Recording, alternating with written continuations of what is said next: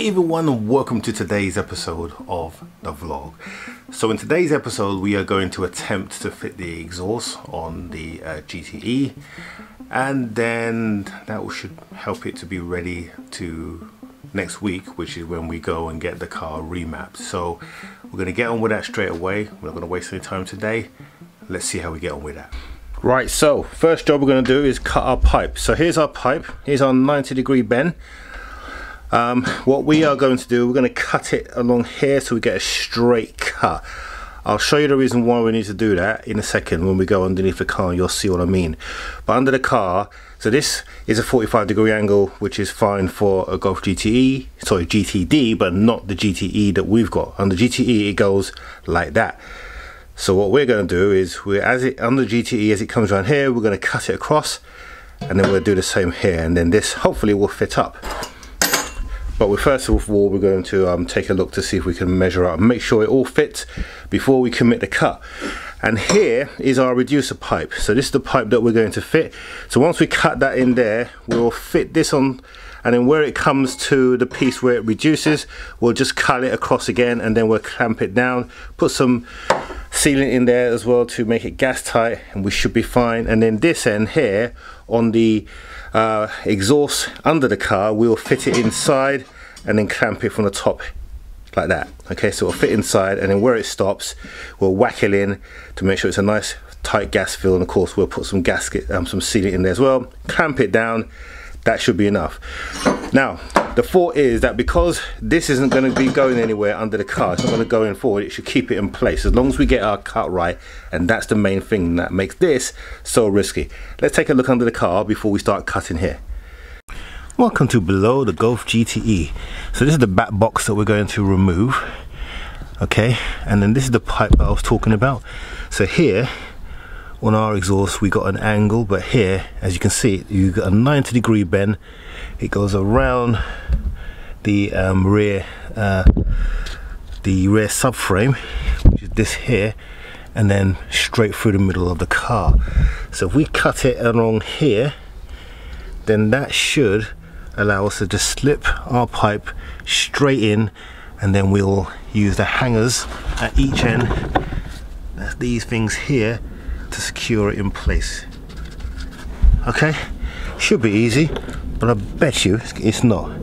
So the first thing I'm gonna do is I'm gonna take this bolt off just here so that we can get this to hang down. And actually you know the first thing we're going to do we're going to do some measuring up to see how things line up. So let's get our exhaust underneath here and then let's do some measuring up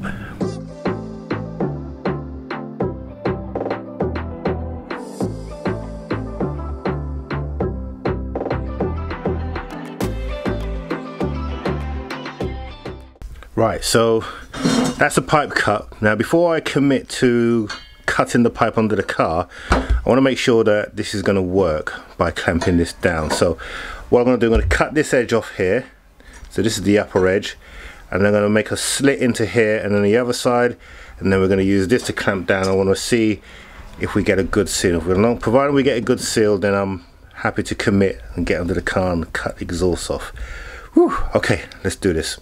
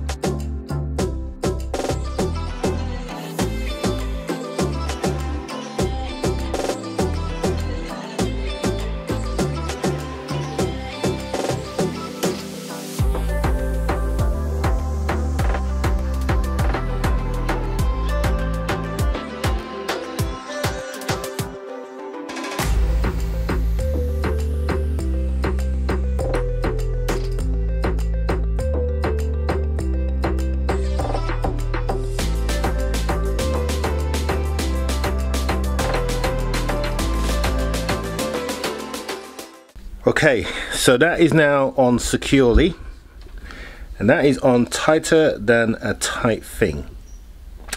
Now the benefit, the beauty of this piece here is that when I cut the pipe on the other side I've got more to play with.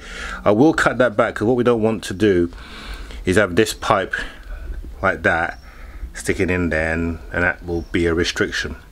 So we'll take it back to where it needs to go but this here what I did I cut four slots on here. And then as you can see inside there let's put a torch down there so you can see. It is nice and sealed. And there's no light coming in there having there. I did actually get the old welder out and just welded some of the sides there.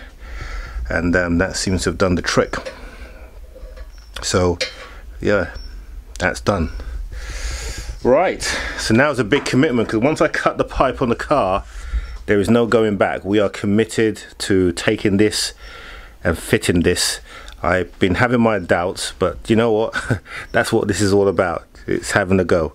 So let's go and have a go. First thing we need to do is lower the hangers on the um, exhaust on, on the car, so let's go and do that.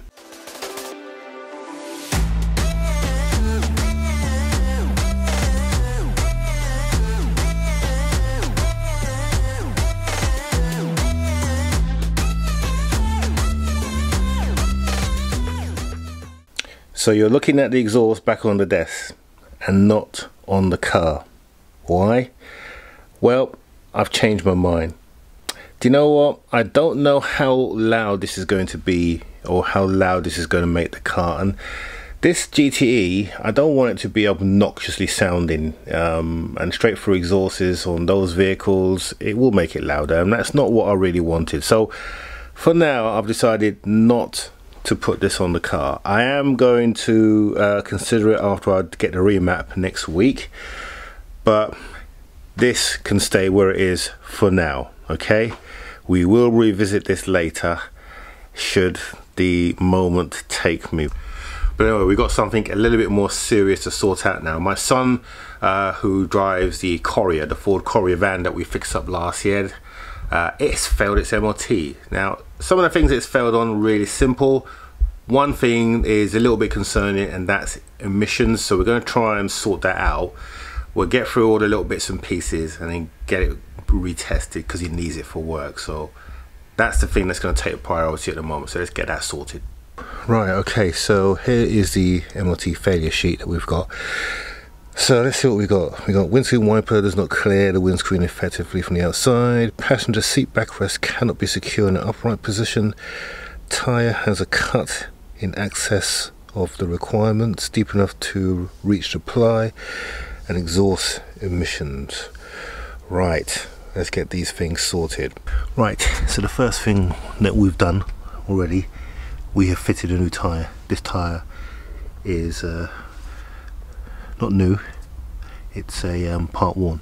And uh, the problem with the original tire was it had a cut on the inside that went from here right through. It's quite a deep cut so it did need to be replaced.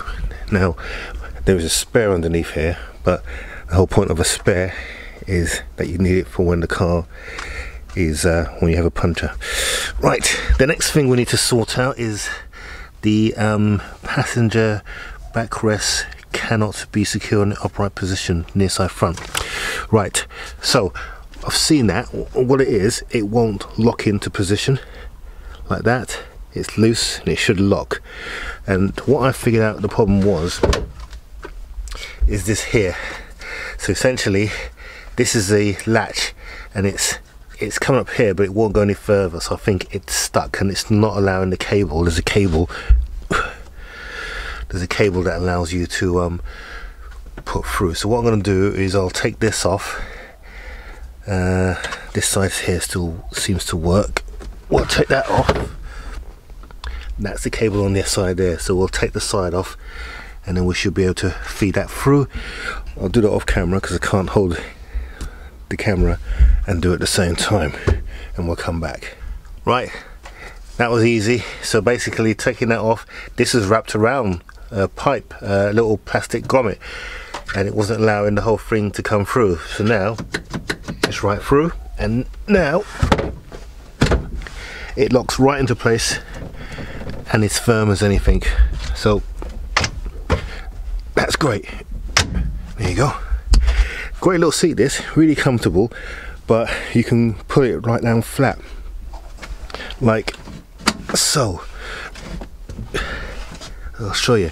So when you put that down that will unlatch that seat push that down and then you got a nice little base. So it's a nice little touch that I like that. Anyway that's now sorted. And we can go on to the next thing which is the wipers which is simple. Um, but I actually want to see what the problem is with the wiper.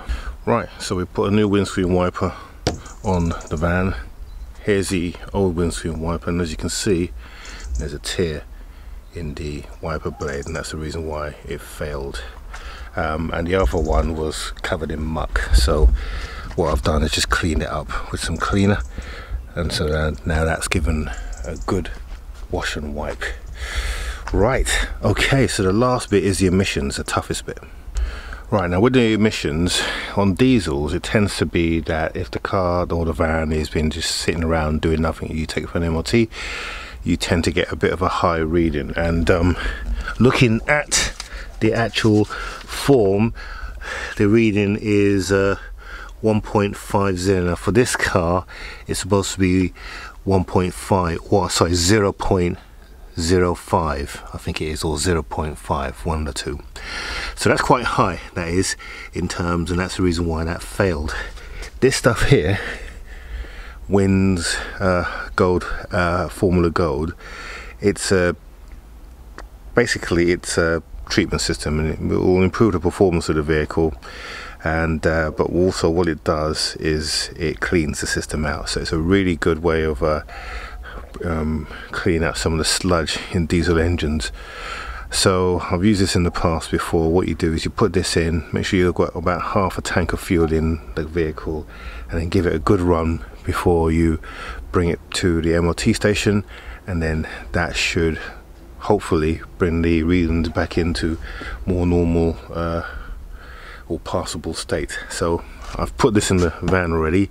We're going to take it for a little run and then we're going to get the van MOT'd and then hopefully we'll pass. So let's see how we go. One hour later Right, so we just come back and we have a pass, although I forgot to sort out the registration number plate. We still passed it though because it's got two. So as long as one works, that's the main thing, but we will replace that bulb. But we got a pass. Now, the emissions thing worked, a treat, like I said, and let me show you the difference. So that's what we failed on, 1.50. That's what we've passed on, 0.04. So it was literally 0.1 behind being um, without fairness. One, it's 0.05 is a manufacturer's setting, so we've just just passed it. But that's the result. So that means that we can crack on and don't have to worry about uh, this van for another year. Although it's coming up to a service, so we will sort out some of those service items, and I'm going to replace the um, bulb that's gone. So next year, hopefully, we'll get a clean sheet. But what I do recommend is that wind gold clean flush cleaner. Put it in your car every three months uh, your van and then it will um, take care of it. But yeah we're gonna get that light sorted now. Right okay so since we're not doing the exhaust and the reason why I decided not to do the exhaust let me explain. I didn't want to if it went wrong it will mean that the car will be out of action. And since I've got the remap tu um, tune uh, booked in for the 15th I'd rather get that done and not have to cancel it because I'm now having to wait for an exhaust or piece of exhaust or get it repaired unnecessarily. I'd rather get that done and actually have a chat with the guys just to make sure that I'm going down the right route uh, once we get it mapped than to, like I said, causing a disruption. So it will happen. We'll just move it to uh, another date.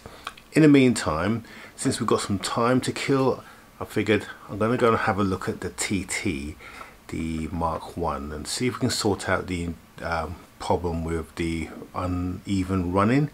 Um, that's the main reason why the car has been in my garage for so long. So let's see if we can get that sorted.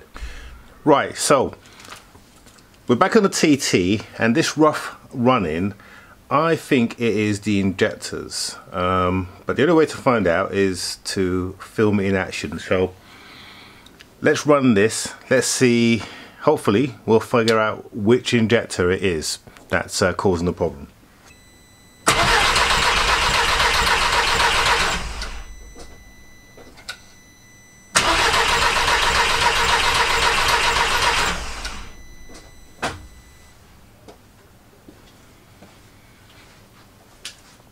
Right, according to that, only two injectors fired.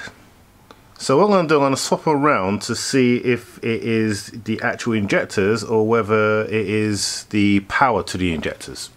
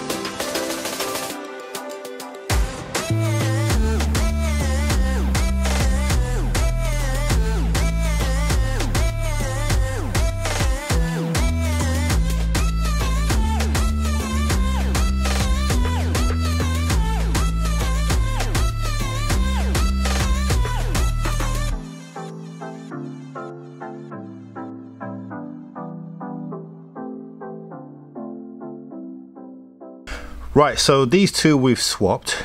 Now what should happen is that should not fire and that should fire. If this does fire, then that means that it's the injector. If this doesn't fire and this does, it's the wiring. Either way, we know that this one and this one weren't firing. So I'm not going to do it now, only because there's a lot of fuel, a lot of wet fuel, and I've just connected, disconnected, and I want to make sure the fuel evaporates first before we try again. So we'll come back and do it shortly. Two hours later. Right, so we've swapped these two around now, as you've seen. So if my theory is right, if it's the injectors, this one should not work and this one will fire. If it's the wiring, then this one will continue to work and this one won't. So let's find out.